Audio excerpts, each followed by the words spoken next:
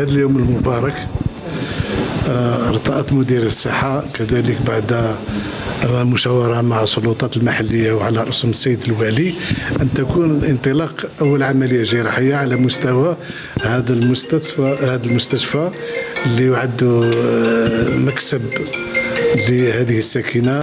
اخترنا هذا اليوم بالذات باش تكون فيه الانطلاقة نتاع إجراء العمليات الجراحية في هذا الصرح الطبي.